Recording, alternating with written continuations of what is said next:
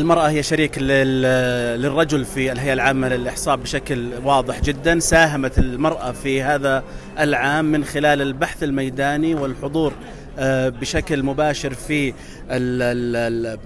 العد الميداني والوصول إلى المنازل والالتقاء بالأسر.